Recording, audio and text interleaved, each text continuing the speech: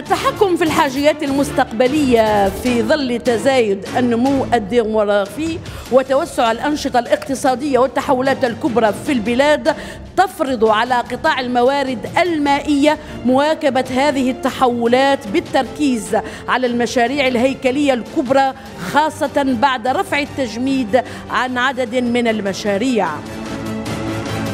الحكومة تراهن على رد الاعتبار لشبكات التوزيع تنويع مصادر المياه والاحترافية في تسيير الموارد المائية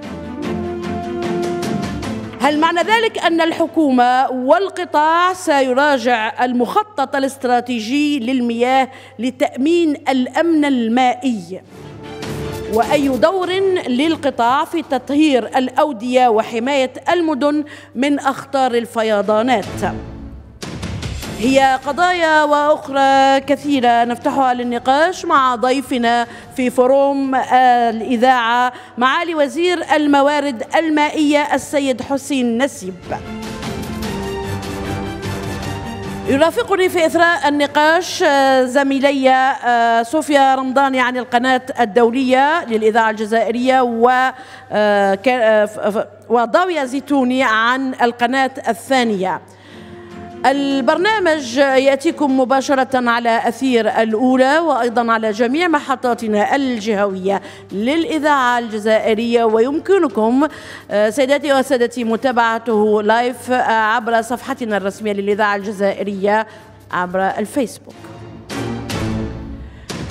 نرحب بكم سيداتي سادتي ونرحب بالحضور الكريم آه، من إطارات بالوزارة. هنا بنادي عيسى مسعودي وأيضا بالأسرة الإعلامية. مرحبا بالجميع.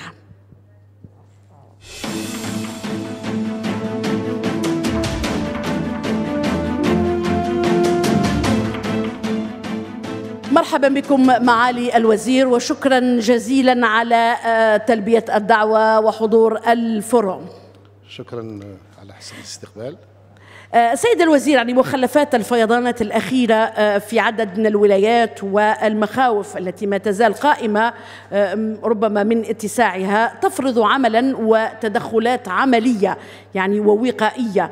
دور قطاع الموارد المائية أكيد حيوي في هذا المجال جلي أيضا في عملية التطهير تطهير الأودية وأيضا مصباتها والمجاري المائية. حقيقة بعد بسم الله الرحمن الرحيم إذا السؤال وجيه جدا لأن إشكالية يعني التصدي للفيضانات هذه ظاهرة طبيعية هي من المهام الكبرى لقطاع الموارد المائية على مستويين.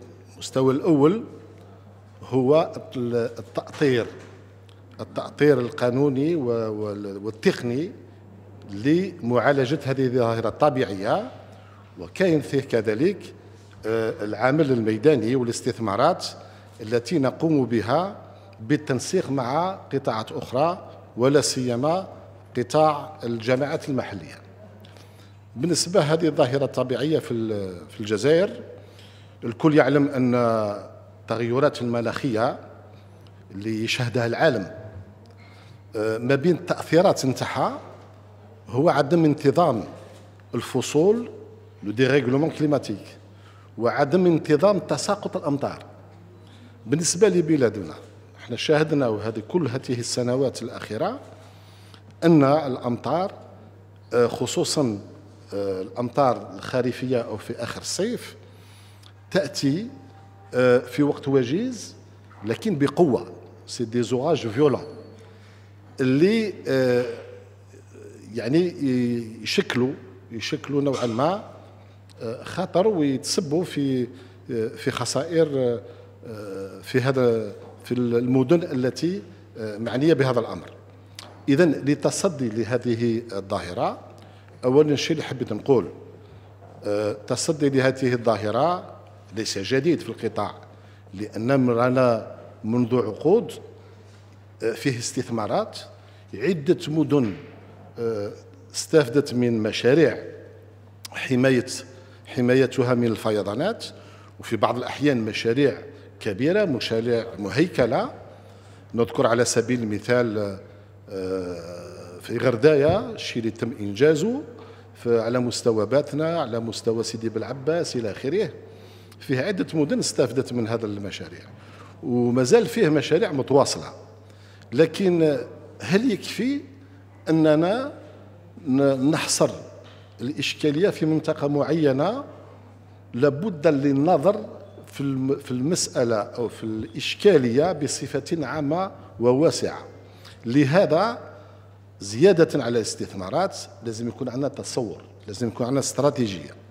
لهذا تم على مستوى القطاع في السنوات الأخيرة إعداد استراتيجية وطنية لمواجهة الفيضانات اللي قمنا بها آه، بالتعاون مع الاتحاد الأوروبي.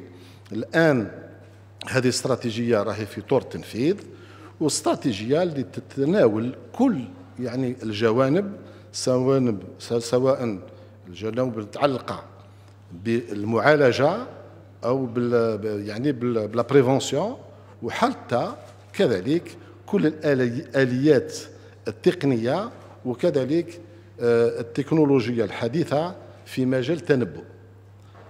نرجع بأكثر تفاصيل إذا حبيتوا في هذا في هذا النقاط باش نقول إن الآن رانا نستثمر منذ السنوات الأخيرة هذا في إطار تصور عام وشامل في إطار تنفيذ هذه الاستراتيجية الوطنية بحيث منذ بداية سنة 2000 رانا يعني قمنا بمشاريع عديدة تفوق 600 مشروع انفقنا أكثر دوله انفقت آه، أكثر من 200 آه، مليار دينار في هذا المجال.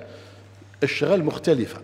فيه حمايه يعني بمنشآت كبيرة مهيكلة. فيه تهيئة الأودية. فيه التدخل على القنوات إلى آخره. هذا من جهة. كذلك زيادة على كل هذه الاستثمارات قمنا على مستوى القطاع. باقتناء في السنة السنوات الأخيرة هذه آه، بتجهيزات لباش هذه التجهيزات نوضعها في المدن الأولوية للمدن التي هي أكثر عرضة للفيضانات أو أكثر تهديد من آه، من الفيضانات. وانتشرنا في الميدان وبدينا تنصيب هذه الآليات بأحدث التقنيات. بعجالة. هذه الآليات توضع في الأودية في السيلان يعني الأودية. وهذه الآليات الحديثة جدا تسمح لنا باش تعطينا المعلومات على حسب يعني السيلان يعني les mesures de de l'écoulement وهذه الآليات فيها يعني التحويل أو la transmission automatique des données اللي تعطينا مستوى نتاع ال alerte parce que هذا les instruments يسمحونا باش نديروا التنبؤ ونديروا ال alerte كي تكون ال alerte على مستوى معين تتطلب هذا عمل رانا نقوم به مع الجماعات المحلية تنظيم تنظيم للتدخل. لما تكون ال alerte تلحق مستوى معين لابد le déclenchement نتاع les plans de secours le plan ORSEC إلى آخره. اذا كل هذا النظام راه الآن بالتنسيق مع وزارة الداخلية والجماعات المحلية.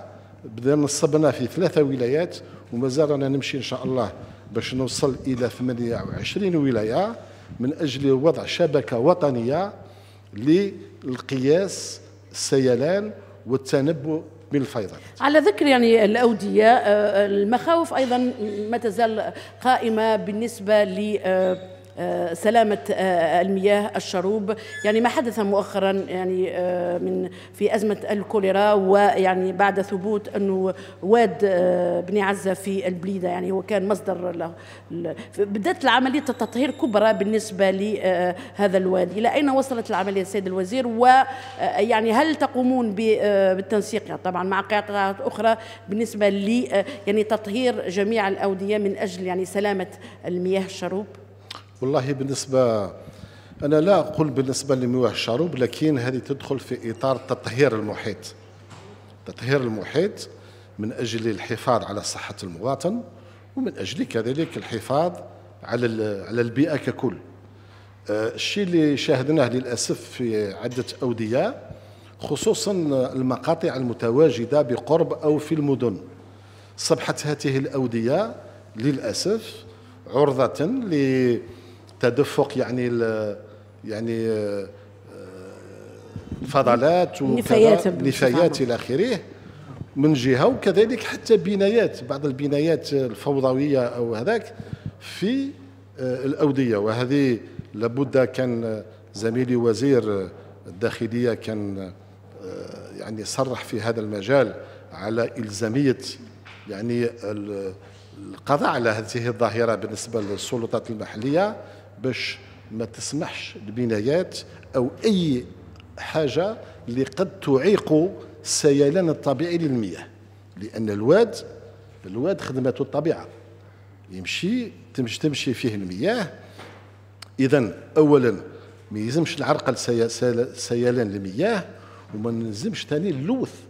اللوث ما يصبحش الواد هو مصدر آه، التلوث. اذا فيه عمل في هذا المجال واسع النطاق. بالتنسيق مع وزارة الداخلية وفيه لجنة وطنية يرأسها آه، معالي وزير الداخلية اللي راهي تعمل وفيه تخطيط على مستوى كل الولايات من أجل القضاء على هذه الظاهره. آه، ضوية زيتوني شكرا. أزول في الله آه، مسيو المينيستر آه، المواطن الجزائري سيدي الوزير يشتكي مرارا من جودة المياه التي تصله لحنفيته وهذا ما تم ملاحظته مؤخرا عند ظهور حالات الكوليرا. هل هذا راجع لقدم شبكة التوزيع أم لنقص العمل التحسيسي تجاه المواطن حتى يزيل كل تزيل كل هذه الشكوك؟ شكرا. شكرا أزول. الشيء اللي حبيت نقول في هذا المجال كنت صرحت به أن حتى يطمئن الجميع بالنسبة للمياه الصالحة للشرب التي تأتي في الحنفيات هي مياه سالمة مئة في المئة لماذا؟ لأن هذه المياه هذه المياه الماء هو ما يعني مادة غذائية وأنا كنت أكدت عليها مادة غذائية اللي تخضع أكثر رقابة من حيث الجودة هي آه، آه، أكثر من كل المواد الغذائية لماذا؟ لأن هذه المياه تأتي من منابع مختلفة سواء من سدود مياه جوفية محلية تحلية مياه البحر إلى آخره تمشي في شبكة عمومية فيه نظام لمراقبة جودة المياه. أولا من حيث التنظيم. فيه ستة مراسم تنفيذية ستة مراسم تنفيذية التي تقنن مراقبة جودة المياه. يعني باش تشوفوا أن الأمر آه، أخذ بجدية كبيرة. هذا من جهة. كذلك فيه يوميا يوميا أقول آه، فيه حوالي ألفين تحاليل لتثبيت حضور مادة الكلور. هذا يوميا. فيه كذلك ما يقرب ألف تحاليل يوميا فيما يخص يعني التحاليل آه، خاصة بال paramètres physico-chimiques وال bactériologique هذا كيفاش يتم يتم من خلال شبكة وطنية تحتوي على ما يقارب 160 مخبر 160 مخبر بما فيها المخابر الجهوية ومخابر وفيها مخبر مركزي تابع الجزائرية للمياه على مستوى على مستوى العاصمة. وننقلها بكل اعتزاز أن في هذا المجال سواء في التقنيات. عندنا أحدث التقنيات في هذا المجال وفيه كفاءات كبيرة في القطاع اللي تسهر على هذه المهمة إذا زيد على ذلك رانا فيما يخص التزويد بالمياه الكيميائية لمعالجة هذه المياه. دائما فيه احتياط فيه تأمين ما في حتى إشكال. وكذلك آه، المهندسين التقنيين لي زاجون لي بريلفور اللي يأخذوا العينات راه عندنا ما يقارب 1500 عون اللي يسهروا يوميا على هذه العملية. بالطبع لما ندخل في فصل الصيف مستوى اليقظة يكون أقوى والتحاليل تكون أكثر أكثر كثافة. هذا ما جعلني نقول اليوم بكل ارتياح أن المياه الموزعة عبر الحنفيات في الجزائر في 48 ولاية هي مياه سليمة معالجة وتخضع لرقابة صارمة. آه، صوفيا رمضاني. آه، صباح الخير معالي الوزير صباح الخير للجميع. معالي الوزير آه، نبقى مع المياه الصالحة للشرب. ماذا عن المشاريع الخاصة بتزويد الساكنة بالمياه الصالحة للشرب؟ ويعني في النقطة الخاصة بتحويل تحويل المياه من السدود بالنسبة لولاية الشرق انطلاقا من سد بني هارون نحو المناطق النائية خاصة بولاية سطيف. وأيضا عن مشروع تحلية المياه بالعاصمة لتزويد سكانها لأنه هناك دراسات أثبتت أنه يعني محطة الحامة على المدى المتوسط لن تزود الساكنة إلا يعني ب 20% كسؤال ثاني عن الفيضانات ونحن في موسمها تحدثتم عن مختلف الآليات الجديدة التي ستدرجونها لقياس السيولة وأيضا درجة الفيضانات. لكن تعملون أيضا بالتنسيق مع الجماعات المحلية في عملية التهيئة والتطهير وأتحدث هنا عن البالوعات لأنه كل سنة نرى نفس المشكل هو هذه انسداد هذه البالوعات على مستوى مختلف الطرقات وهذا أيضا يتسبب في فيضانات. معالي الوزير. شكرا. الشيء اللي حبيت نقول فيما يخص المشاريع الخاصة بالمياه الصالحة للشرب. القطاع في كل مجالات النشاط. قطاع الموارد المائية. رغم أن فيه حقيقة منذ نقول حوالي سنتين من ناحية يعني المالية كان فيه تراجع في الإمكانيات. لكن فخامة رئيس الجمهورية وعلى مستوى برنامج الحكومة. قطاع الموارد المائية ما زال يحظى بأولوية كبيرة على غرار قطاع الصحة وقطاع التعليم. هذا ما أدى كما تفضلت أخت أدى إلى رفع التجميد عدة مشاريع بمقدار يقارب يفوق 90 مليار دينار. بالنسبة للمياه الصالحة للشرب. ما زلنا في نفس الديناميكية الإنجازات لتغطية حاجية المواطنين فيما يخص المياه الصالحة للشرب. نقدر نقول لك خلال هذه السنة سلمنا خمسة سدود كبيرة. أغلبها موجهة على كل حال للفلاحة لكن تدعم بنسبة كبيرة كذلك التزويد بالمياه الصالحة للشرب. ثانيا وضعنا تحت الخدمة انجزنا خلال هذه السنة ما يقارب عشرة تحويلات. نذكر على سبيل المثال تحويل المياه من مقطع محطة الكبيرة نتاع وهران تحلية مياه البحر نحو ولاية معسكر بمقدار حوالي 130 ألف متر مكعب في اليوم. كذلك على مستوى ولاية البرج فيه زوج تحويلات من تيل سديت في البويرة نحو دائرة المنصورة حتى المهير. فيه كذلك آه، منطقة كانت سجلت عجز كبير. هي شمال برج بعراريج درنا لها تحويل من ست شحاف في آه، بجاية. فيه تحويل من سد موان في سطيف إلى كل آه، لسطيف العلمة وبلدية أخرى لما يقارب 600 ألف نسمة. فيه كذلك تحويل من سد أوركيس اللي هو تابع النظام الكبير لبني هارون إلى أم البواقي اللي تستفد منه المواطنين اليوم ما يقارب حوالي 500 ألف يعني آه، نسمة. كذلك في إطار تنفيذ برنامج فخامة رئيس الجمهورية كنا وضعنا في الخدمة تحويل كبير مهيكل من أكبر تحويلات في البلاد هو التحويل التحويل تاع الشط الغربي اللي ينطلق من ولاية نعامة على مسافة مسافة أكثر من 600 كيلومتر لتدعيم التزويد بالمياه الصالحة للشرب آه، جنوب تلمسان وجنوب سيدي بالعباس وكذلك سيسمح آه، يعني سقي أو استحداث ما يقارب 3000 أراضي آه، أراضي مسقية. ضيف إلى ذلك فيه كذلك استلام البرنامج الاستعجالي اللي تعرفوا عن نبع اللي تكون اللي عرفوا أزمة حادة خلال الصائفة 2017 والحمد لله الوضعية راهم في اريحيه في هذه الساعة. كذلك كانت لنا خذلنا مبادرة بانطلاق زوج مشاريع كبار تحويلات في ولاية كذلك كانت تعاني نقص كبير هي ولاية المسيله بالتحويل من سيدي عيسى نحو عاصمة الولاية 17 ألف متر مكعب يوميا وراه على وشك الانتهاء. نفس قمنا بتحويل كذلك من عين الحجل هي دائما مياه تأتي أصلا من سد كودية تسردون بالبويرة. يعني مياه تاع السد كودية تسردون رانا وصلناها حتى البسعادة رانا قريب ننتهي كذلك من التحويل من عين الحجل نحو بسعادة بمقدار حوالي 15 ألف متر مكعب يوميا. إذا هذا بالنسبة بعض عينة من المشاريع لكن فيه مشاريع أقل حجم متوزعة على عدة ولايات التي من شأنها أن يعني تحسن التزويد بالمياه الصالحة للشرب بحيث إذا أعطيت واحد مؤشر في هذا المجال.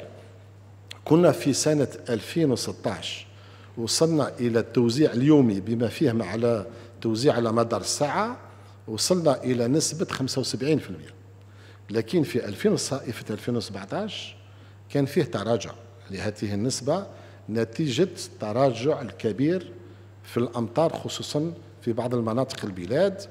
انخفض هذه انخفضت هذه النسبة إلى 65% لكن الحمد لله بعد إعادة انتعاش كل مشاريع وانطلاق في مشاريع جديدة بالتنسيق كذلك المثمر مع قطاع الجامعات المحلية ودعم الحكومة لبرنامج استعجالي.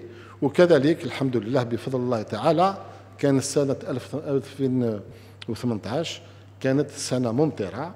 هذا ما جعلنا صائفة 2018 فوتناها يعني في ظروف آه، لا بأس بها أحسن بكثير بالنسبة لسنة 2017 بحيث المؤشر هذا راه وصل اليوم إلى 78% والأشغال ما زالت جارية في الميدان ونترقب إن شاء الله نهاية السنة باش نصل إلى 80% من التوزيع على آه، على اليومي بما فيه حوالي 50% على مدار الساعة فيما يخص المياه غير التقليدية كنت طرقتي إلى تحلية مياه البحر.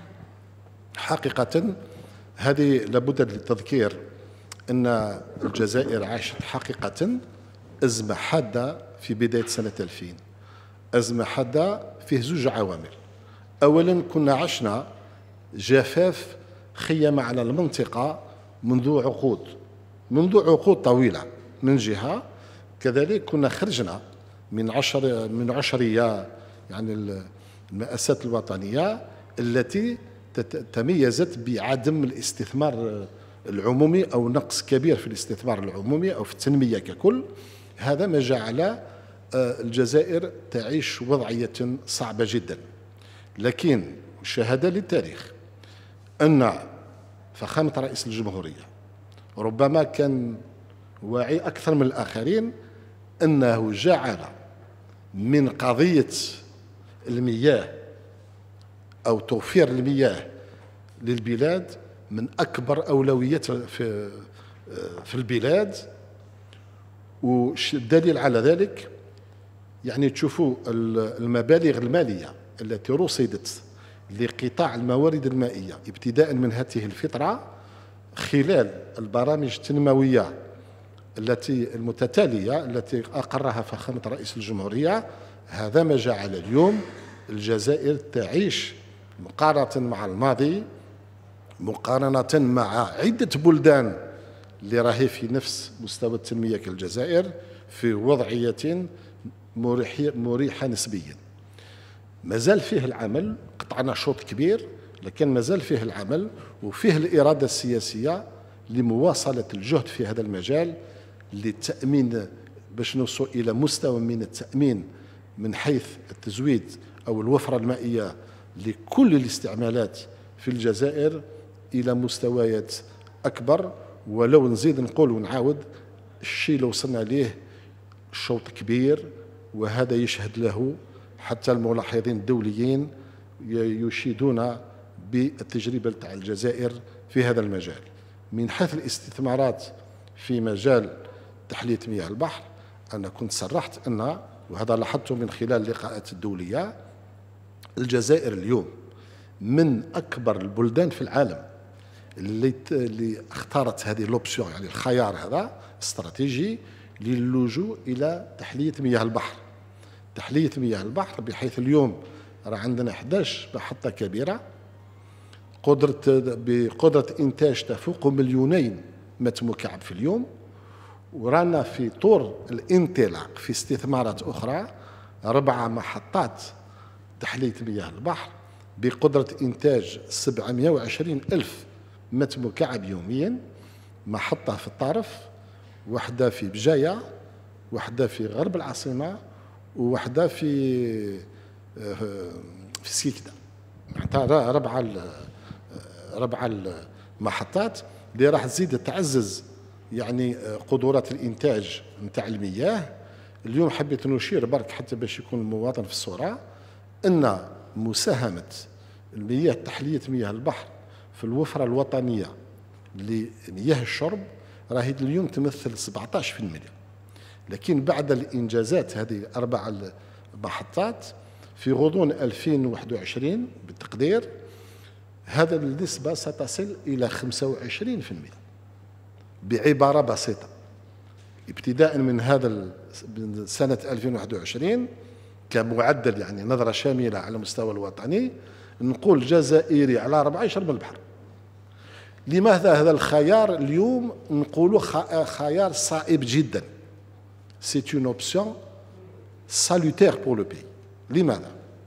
لأن استراتيجيه نتاع القطاع التي تم اعتمادها ابتداء من سنة 2000 والتي آه، استفادت من إرادة سياسية قوية. هو تكثيف الاستثمارات في تجنيد وحشد المياه ولكن ليس بطريقة هكذا ولكن في هدف استراتيجي كذلك هو تنويع المصادر. بحيث اليوم في الجزائر نقدر نقول عندنا أربعة مصادر. موش واحد برك موش زوج. عندنا السدود والحواجز المائية بما يسمى المياه السطحية. فيه المياه الجوفية اللي هي تمثل أكثر نسبة في آه، المياه التي تجند سنويا. نجند في الجزائر ما يقارب 10.5 مليار متر مكعب سنويا أكثر حوالي 65% من هذه المياه تأتي من المياه الجوفية. إذا عندنا المياه السطحية مياه الجوفية تحلية مياه البحر وكذلك إعادة استعمال المياه المعالجة تاع الصرف الصحي لأغراض فلاحية. اليوم في هذه المحطات رانا ننتج ما يقارب 400 مليون متر مكعب في السنة. معناه هذه المياه لما نمشي نستعملها في, الفلاحة. رانا نقتصدها, نقتصدها من المياه الجوفية من السدود. إذا نسميها في القطاع حنايا la quatrième ressource المورد الرابع. شكرا. سيد الوزير يعني آه، إضافة يعني لرفع التجميد عن المشاريع آه، كثيرة يعني تم أيضا تجنيد موارد آه، مالية إضافية لبعض الولايات تحديدا يعني للتكفل بها في مجال تزويدها بالمياه خاصة بالنسبة للجنوب. والله أنا كما قلت ديناميكية الإنجازات سواء المياه الصالحة للشرب أو في الصرف الصحي ما زال قائمة في هذا القطاع. ما زال قائمة الحمد لله. نقدر نقول لك إذا تكلمنا على الصرف الصحي هذه أول مرة أننا نعلن على مناقصات من آه، لإنجاز محطات كبيرة للصرف الصحي بهذه بهذه بالحجم بحيث لنا ما يقارب 30 محطة كبيرة لمعالجة مياه الصرف الصحي راهي حاليا في المناقصات. هو عادة عادة ننطلق سنويا بمعدل ستة إلى سبعة محطات كل سنة. اليوم رانا في 30 محطة. 30 محطة إذا تكلمنا على تجنيد المياه. نحن مازال نمشي في المخطط الوطني للري اللي يهدف كما تعلمون تحويلات سدود وربط سدود بعضها وتحويلات من مناطق فيها عجز آه، فيها وفرة إلى منطقة فيها عجز الأمثلة كثيرة. حتى في هذه المشاريع المهيكلة ما زال فيه يعني أعمال.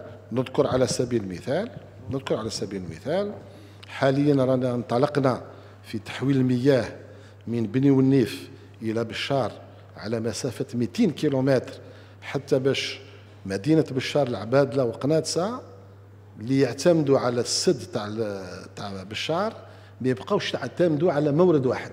هذا اللي كنت نتكلم عليه قبيل الأمن المائي لابد توزيع la diversification de la ressource تنويع المصادر.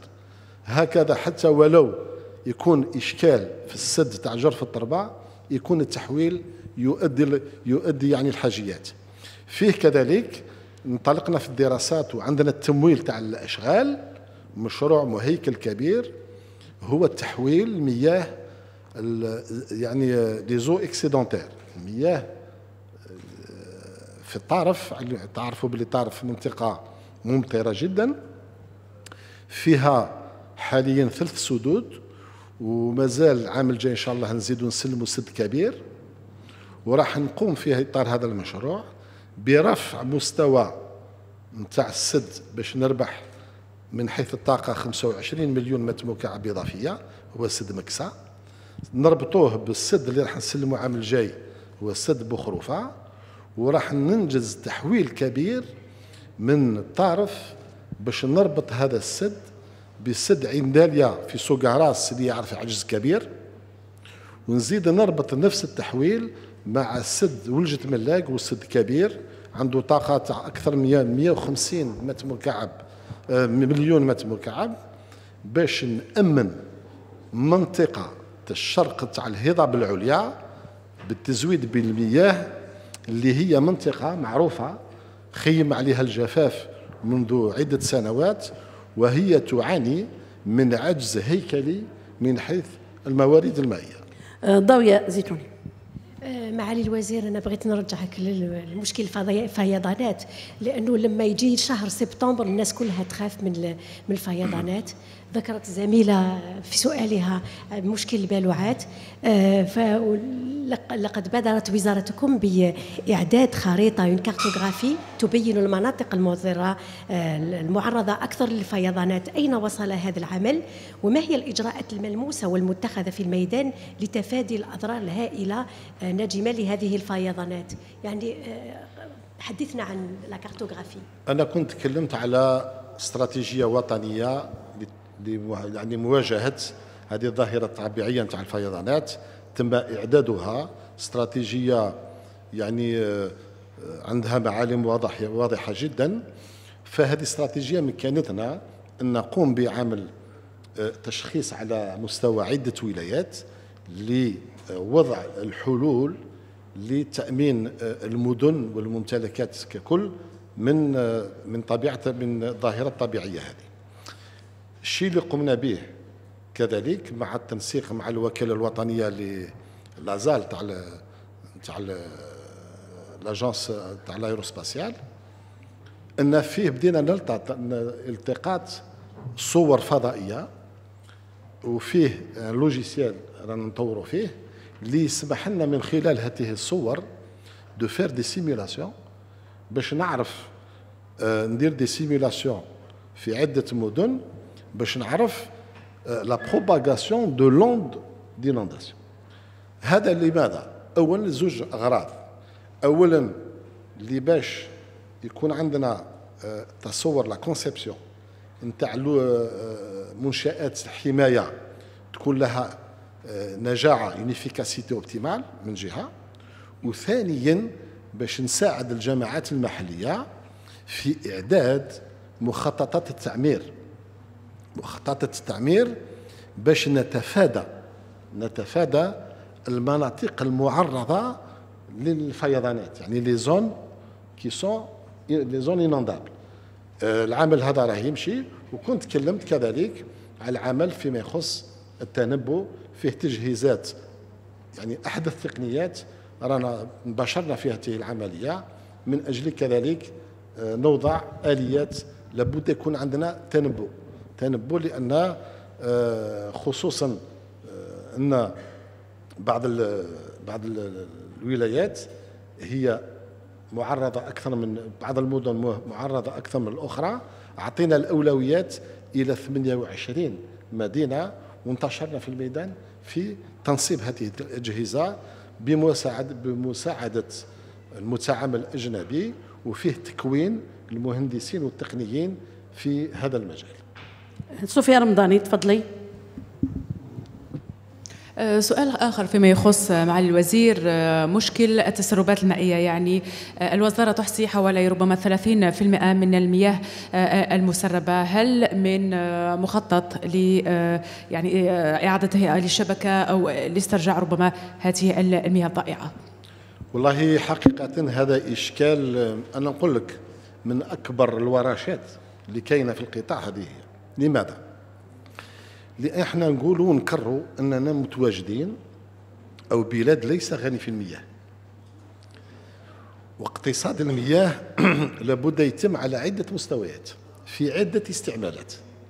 لما نتكلم على المياه الصالحة للشرب حقيقة فيه وضعية أن نسبة التسربات في الشبكات ما زال نوعا مرتفع هي معدل حوالي 30% معدل حوالي 30% ولكن أنتم تعلمون بعد استحداث الجزائرية للمياه في سنة 2001 وبدأت تشغل في 2002 ورثت هذه الشبكات من عند البلديات. والبلديات هذاك الوقت آه، الشبكة نتاعها نقدر نقول لكم تجاوزها الزمن. لا من حيث لا كاباسيتي يعني الطاقة لا من حيث نوعية المواد المستعملة. لهذا اليوم ملزم علينا أن نعمل un travail de profondeur. لهذا جاء ما جعل القطاع منذ سنوات يعني عدة انطلق في برنامج واسع النطاق من أجل ولا خيار من أجل تجديد هذه الشبكات. هذا يكلفنا على كل حال يكلفنا إمكانيات ويكلفنا كذلك من حيث الوقت لأن العمل اللي راه ينتظر في ينتظر فينا عمل كبير. اليوم رانا آه، عددنا برنامج ل 40 مدينة. انطلقنا في حوالي 20 الدراسات جاهزة حوالي 10 والباقي راهي في المناقصة بالنسبة للدراسات. مشينا في هذا البرنامج وخصصنا ما يقارب 60 مليار دينار لإنجاز هذا البرنامج هذا إضافة إلى الأعمال هذا البرنامج القطاعي. لكن فيه أعمال أخرى تقوم تقوم بها يقوم بها قطاع الجماعة المحلية على المستوى البرامج الأخرى. نذكر منها البرامج تنمية البلديات وبرامج تاع الصندوق الجماعات المحلية. إذا إذا جمعنا كل هذه المجهودات من حيث تجديد أقول التجديد القنوات والتجهيزات وتعزيز منشأة التخزين. كل هذه الجهود رانا نمشي بوتيرة منذ حوالي عشر سنوات. بوتيرة تقدر حوالي تجديد 2000 كيلومتر في السنة. وحنا في التخطيط نتاعنا استراتيجية كما تفضلتي الأخت لنا نظرة مستقبلية بالنسبة لهذه الإشكالية أننا نسعى إن شاء الله بفضل هذا البرنامج. وتعزيز كذلك وسائل التدخل على الشبكة. رغم أن النسبة هذه مرتفعة صحيح أنها تكلفنا من حيث الصيانة والتدخل.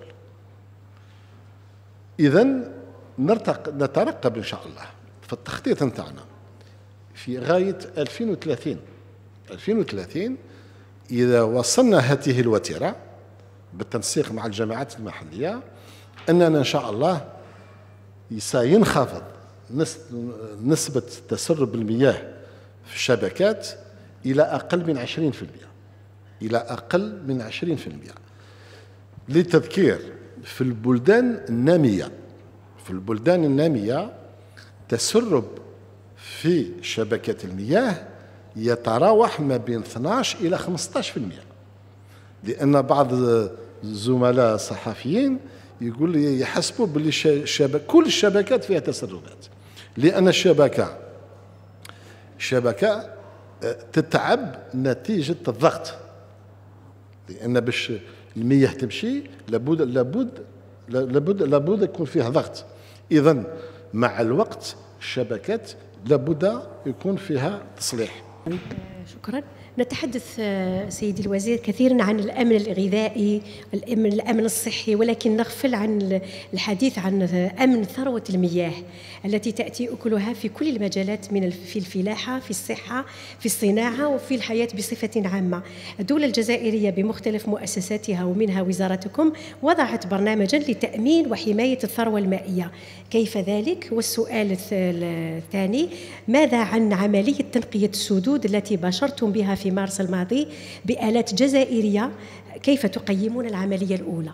شكرا. والله شكرا. بالنسبة للتأمين التزويد بالمياه وتعزيز الوفرة المائية لتغطية حاجيات البلاد في عدة قطاعات آه، أنا كنت قلت وأعطيت حصيلة أن الشيء اللي تم إنجازه لحد اليوم في مجال آه، الموارد المائية هي أقول تجربة رائدة بكل موضعية. رانا من 2000 اليوم آه، أنجزنا 36 36 سد كبير. التحويلات الكبرى 11 محطة تحلية مياه البحر. كما قلت محطة معالجة المياه الصرف الصحي. راح تسمح لنا كذلك نقطع سد المياه من السدود والمياه الجوفية. مئات الآلاف من الآبار. كل آه، شيء راح يأمن هو حشد المياه وتنويع المصادر pour une option de sécurisation. لأن الأمن يأتي من حشد ولكن لا نرتكز إلى على مصدر واحد. إذا كان فيه مشكل في هذاك المصدر نصبح في أزمة. لأن إذا التخطيط كان تخطيط سليم. c'est une stratégie pertinente اللي سمحت لنا اليوم نتوفر على أربعة يعني مصادر لتؤمن اليوم نسبيا البلاد. ورانا ابتعدنا كثير وكثير من الوضعية اللي عاشتها الجزائر في بداية 2000 للتذكير. هنا في العاصمة الناس ما كانتش تشرب الماء يوميا. نروح الوهرن كانوا يشربوا يومين بعد ساعات في الأسبوع بسبعة غرامات في اللتر للعلم أن المياه لما تصل زوج غرامات ما يقدرش يستهلكها الإنسان. هم سبع غرامات. اليوم الحمد لله بفضل مجهودات الدولة والبرامج آه، نتاع فخامة الرئيس اليوم وهرا عندها 24 ساعة على 24 ساعة يعني ثابت ومؤمن. أكثر من ذلك وهران راهي تصدر المياه راهي صدرت إلى معسكر تحويل إلى معسكر وعن قبل نهاية السنة نفس يكون فيه تحويل آخر نحو ولاية غيليزان. إذا يبدو لي البرنامج اللي تم إنجازه الاستثمارات أعطت هذا الثمار نتاع الوفرة المائية ورانا ننتج نجند حاليا 10.5 مليار متر مكعب آه، في السنة. مياه صالحة للشرب. رانا ننتج خصوصا في الصائفة نصل حتى 10 ملايين متر مكعب في اليوم لتلبية حاجية المواطنين. آه، في الفلاحة رانا نوفر كذلك تقريب 70% من المياه التي يتم حشدها سنويا. لتغطية كذلك حاجيات الأراضي المسقية آه، المتواجدة على مستوى الوطن. نفس الشيء بالنسبة للصناعة رانا رافق آه، نرافق كذلك التنمية آه، الصناعية. واستثمارات أخرى راهي مبرمجة. وأنا قلت كنت ذكرت باللي ديناميكية الإنجازات الاستثمارات العمومية في قطاع الموارد المائية مازالها ماشية الحمد لله. لو بلان شارج 2018 نتاع قطاع الموارد المائية.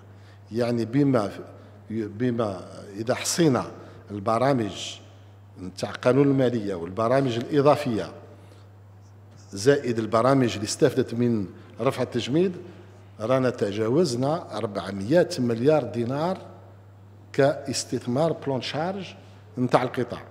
اذا مازال مجهودات متواصلة من طرف الدولة لتلبية حاجية كل مستعملين المياه في كل مجالات. آه، صوفيا رمضاني. اظن السؤال الثاني فقط نعم. الذي يتعلق بالديفازمون دي, إيه. دي باراج إيه صح. هذه إشكالية التوحل في السدود هي باش الكل يعرف بالنسبة للجزائر لا تمثل نسبة مقلقة بزاف. لابد القضاء عليها. لأن لما نقضي على السدود أولا لسلامة السد ثانيا نربح حجم إضافي. نربح حجم إضافي. اليوم في سنة 2018 رانا انطلقنا في مناقصات لإزالة يعني الأوحال من السدود لعشرة سدود. نعتبرهم إحنا كأولوية. اللي هما ممكن فيهم يعني فيهم أكثر حجم من من الأوحال. انطلقنا في في المناقصات والأشغال ستنطلق عن قريب إن شاء الله. تكلمتي على الآلة المصنعة محليا لإزالة الأوحال. علما هذه الآلة هي على شكل باخره تقنية حادثة جدا. هذه الآلة الكبيرة لحد الآن إحنا نستوردها بالعملة الصعبة ولكن مكلفة كثير. الحمد لله بفضل يعني آه، إطارات جزائرية سمحنا باش انطلقنا في تصنيع ثلاثة آليات. آه، كنا ننتظر أن هذه أول آلة تسلم في في الصائفة لكن عرفت شوية شوية تأخر.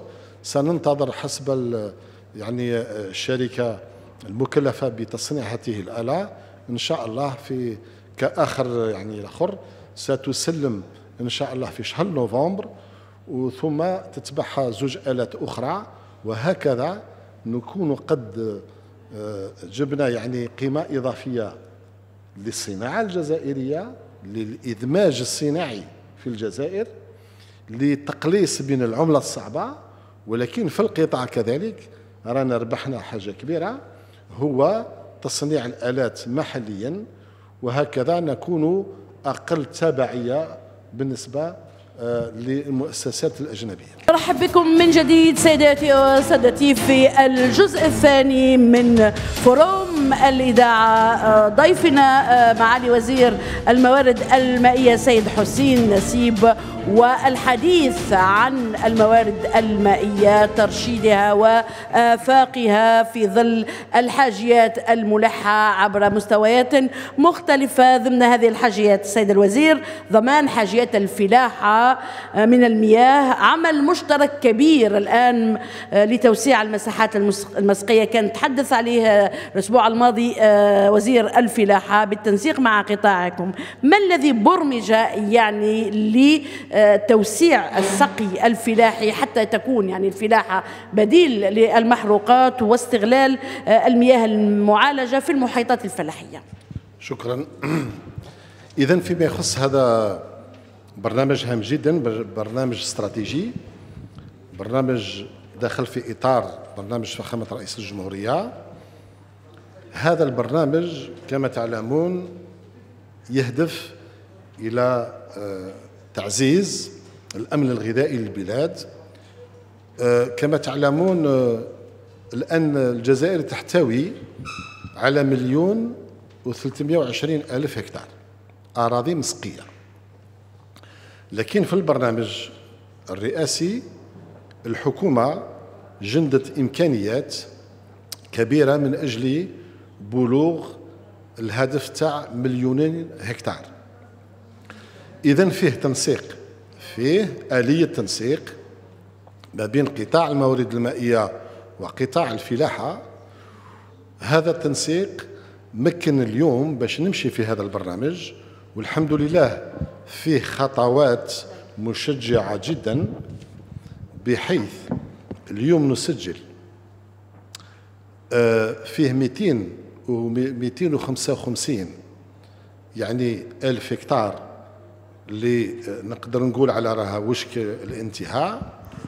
وفيه كذلك 355 ألف هكتار اللي راهي انطلقت والبعض راه في طور الانطلاق. معناه إن إن شاء الله في آفاق يعني سنة 2020 أقل ما يمكن إنجازه وحسب الإمكانيات المالية أقل ما يمكن إنجازه هو بلوغ 80% من هذا من الهدف الاستراتيجي. كذلك آه، بموازاة مع هذا الأعمال بالتنسيق مع قطاع الفلاحة فيه كذلك عمل تثمين بعض المساحات الموجودة. لابد تثمينها. تثمينها من حيث إعادة الاعتبار في بعض الأحيان تجديد قنوات آه، يعني بالنسبة لسق الأراضي. هذا ثاني فيه برنامج راه في طور الإنجاز أغلبها تخص المحيطات الكبرى التي يسيرها الديوان الوطني يعني لسق الأراضي الفلاحية إضافة على هذا البرنامج الطموح الآن مازال فيه مساحات تضاف من خلال الاستصلاحات الاستصلاح والاستثمارات الفلاحية وحنا رانا مازال نرافق بمشاريع تجنيد المياه سواء على مستوى السدود المياه أو مستوى المياه الجوفية. كذلك بشرنا كذلك في سق بعض المحيطات بمقدار حوالي 12 ألف هكتار بالمياه آه، الصرف الصحي المطهرة في المحطات. وهذا هذه كبداية مشجعة باش نثمن ونستعمل إعادة استعمال كميات كبيرة. كنت تكلمت عليها تقدر ب 400 مليون متر مكعب سنويا اللي هي تمثل يعني تصوروا تمثل شحال من سد هذه هذا الحجم الكبير. إضافة إلى إلى هذا كذلك فيه تشاور مع قطاع الفلاحة. من أجل تعميم استعمال أنظمة السقي المقتصدة للمياه مشات فيه خطوات لكن مازال فيه عمل وراه العمل متواصل والتحسيس متواصل آه، من من هذه الجهة. وفيه كذلك عمل مع قطاع الفلاحة في تحسيس كذلك الفلاحين باش ينظموا نفوسهم على شكل جمعيات لكي نحسن استغلال السدود الصغيرة والحواجز المائية. لأن الآن أقول ما راهيش تستعمل بطرق يعني آه، أمثل. نقدروا نحسنوا مازال نقدروا نحسنوا استغلال المورد المائي الموجود في هذه المنشآت. نعم سوفيا رمضاني. معالي الوزير تحدثت عن نظام تزويد المياه بالشرب بالاستعانة بمخططكم الخاص بتحويل نظام التحويل أو تحلية مياه البحر. هناك أيضا نقطة أخرى ربما لم نتطرق إليها وهي جلب المياه من أه، الجنوب نحو الهضاب العليا. ماذا أيضا عن مشاريع مختلف المشاريع الخاصة بالجنوب الجزائري؟ والله شوفي جنوب الجزائري نقدر نقول يعني حجم الاستثمار على غرار القطاعات الأخرى. هذه منذ عقدين. آه، عمرو لكن الجنوب استفد بحجم الاستثمار بهذا يعني بمبالغ يعني هامة جدا. نذكر على سبيل المثال بالنسبة لقطاع الموارد المائية عندنا التحويل الكبير تاع عين صالح تمرست عندنا كذلك معالجة المياه لأن في الجنوب الإشكالية في الجنوب هي المياه متوفرة. لكن في أغلب الأحيان فيه إشكالية الجودة. يعني c'est des eaux chargées. كذلك رانا نجزنا عدة محطات لمعالجة المياه آه، في ورقلة في توقرت في الواد آه، في تندوف آه، في عدة ولايات في إليزي كذلك. في مجال الصرف الصحي فيه عمليات كبيرة كذلك نجزناها. نذكر على سبيل المثال المركب يعني نتاع الصرف الصحي الخاص بالتحكم في صعود المياه في واد سوف وفي ورقلة وما زال فيه برنامج في طور الإنجاز برامج أخرى من أجل تدعيم التنمية في الجنوب حتى في مجال الفلاحي. انطلقنا هذا هذه هذه السنة فيما يقارب 30 بير عميق. بير عميق يعني يفوق 1000 متر يعني la nappe albienne من أجل تدعيم مثلا ولايات فلاحية بامتياز مثل مثل ولاية بسكرة آه، الواد وورقلة.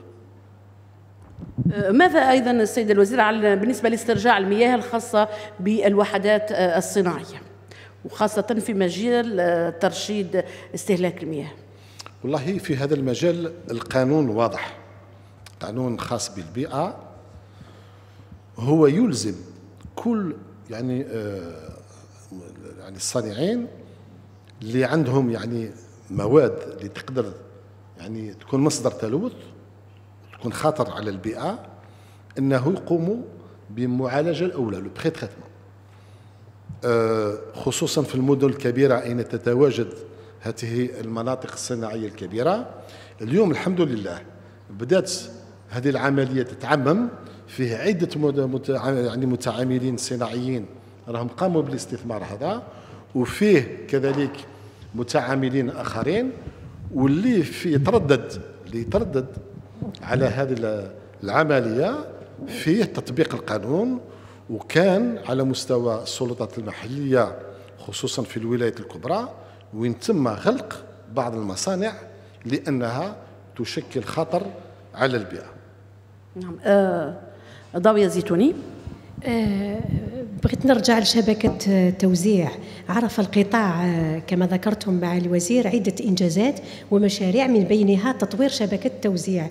إلا, أن بعض المناطق آه، في بعض المناطق الشبكات تبقى قديمة. آه، وأنتم تراهنون على النوعية والمردودية. ما هي المشاريع المستقبلية لتجديد هذه الشبكة شبكة التوزيع والله أنا قلت بالنسبة لشبكة توزيع قلت هذه ورشة كبيرة في القطاع. لأن لتحسين في الأداء في الخدمة العمومية من جهة وكذلك من أجل اقتصاد المياه. لأن إحنا حصينا أن فيه حوالي معدل وطني ب 30% من تسربات نتاع المياه. إذا ورشة كبيرة كنت تكلمت على حجم الاستثمارات تفوق 60 مليار دينار فيها 40 مدينة التي استهدفت من خلال هذه الاستثمارات والبرنامج مازال مازال وراه يمشي ولكن ما كانش إلا في البرامج القطاعية فيه كذلك على مستوى برامج تابعة للجماعه المحلية اللي راهي تقوم كذلك سنويا بتجديد شبكات توزيع المياه وكل التجهيزات الخاصة بها. وأنا كنت أعطيت معدل سنوي اللي رانا نمشي به منذ سنوات. هو معدل حوالي تجديد حوالي 2000 كيلومتر سنويا.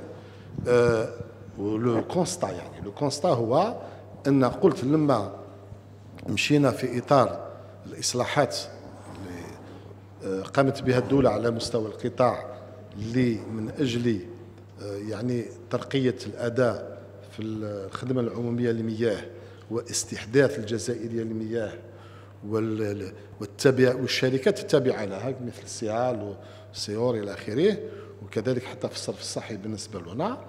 هو الهدف هو احترافية المرفق العام. وفي هذا في هذه الخطوة رانا كذلك نعمل من أجل إدماج البلديات التي اليوم أغلبها التي لن تندمج. يعني بكل موضوعيه هي تفتقر إلى هذه الإمكانيات تفتقر إلى هذه الخبرة. تفتقر إلى هذا الاحترافية.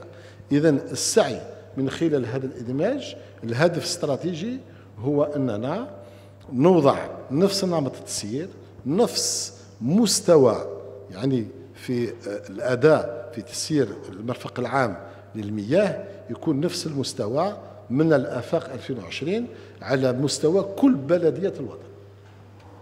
نعم. آه، سيد آه، الوزير بالنسبة أيضا ل آه، كنت تحدثت عن قضايا الصيانة خاصة. الآن بالنسبة لوزارتكم الآن فيه تفكير على الاعتماد على المؤسسات المصغرة لإنجاز بعض أشغال الصيانة. إلى أين وصلت الموضوع هذا؟ والله أنا كنت ما بين تدابير حقيقة خذيناها في مجال الصيانة والتدخل على شبكة التوزيع بالنسبة لمياه الشرب لكن عملنا كذلك نفس الشيء بالنسبة للصرف الصحي لكن كانت أكثر كثافة على مستوى آه، مياه الصالحة للشرب بحيث آه، كان لقينا إشكالية ولكن رانا نصحوا فيها هو شوف التعداد نتاع مثلا الجزائرية للمياه شوف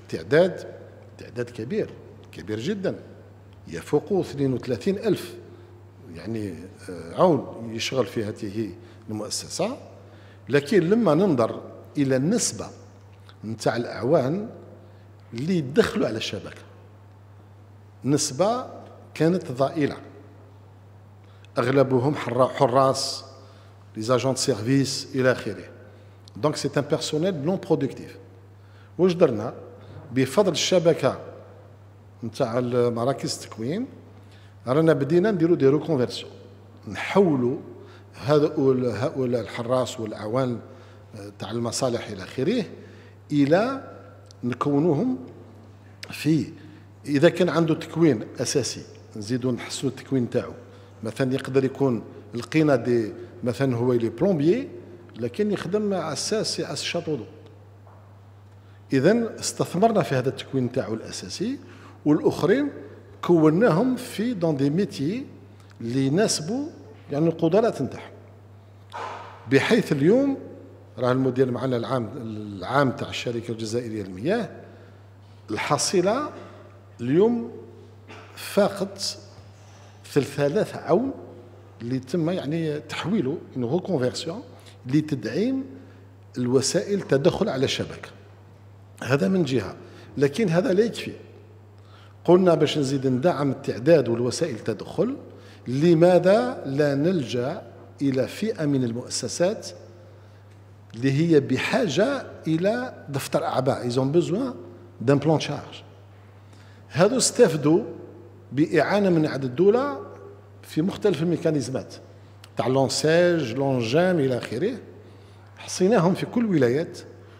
ورانا آه آه، يعني الشباب راهم الآن يشغلوا معنا. كل خطرة فيه فئة من الشباب يعني تدمج في إطار هذا البرنامج وراهم يجيبوا قيمة إضافية بالنسبة للخدمة العمومية وثانيا تسمح لهم يشغلوا وفي بعض الأحيان حتى هم يخلقوا مناصب شغل إضافية. أه، نعم مع الوزير. أه آه، سؤال آخر بالنسبة لقرار الحكومة آه، رفع آه، صلاحيات يعني تسيير السدود الصغيرة من البلديات ونقلها تدريجيا إلى الوكالة الوطنية للسدود والتحويلات الكبرى كيف يجري هذا المسار؟ والله للتذكير أنا كنت قدمت مرسوم تنفيذي في الحكومة خاص بتسيير وأمن سدود الكبرى لكن فيما يخص السدود الكبرى المسيرة من الوكالة الوطنية للسدود. نفس الشيء يشير اللي كنت نتكلم عليه بالمياه المياه صالح الشرب أو الصرف الصحي. الوكالة الوطنية للسدود هذه مفخرة. فيها إطارات فيها وسائل فيها خبرة يعني نعتز بها. كي مشينا لهذا المشروع نتاع وقعت وقعت إشكالية هو أن زيادة على السدود الكبيرة. فيه سدود صغيرة الطاقة تاعها حتى تتراوح ما بين 500 ألف إلى 4 ملايين متر مكعب الطاقة نتاعها لكن هذه السدود أنجزت على مستوى المحلي جماعات المحلية. لكن آه ما عندها لا ليست خاضعة لأي نظام تسيير. والسد كما تعلمون السد منشأة استراتيجية. منشأة استراتيجية يعني تقدر تكون مصدر خطر. نقدر نقول لك في البلدان المتقدمة لما يصنفوا المنشآت الحساسة بما يسكن لي انفراستركتور سنسيبل السد السدود الكبيرة تأتي بعد بعد المحطات النووية. إذا بالنسبة للسدود الكبيرة كل الإجراءات سواء يعني متابعة السدود فحص السدود الأمن la protection active يعني بالناس مسلحين وكلش هذا قائم وقوموا به يعني دائما 24 ساعة على 24 ساعة.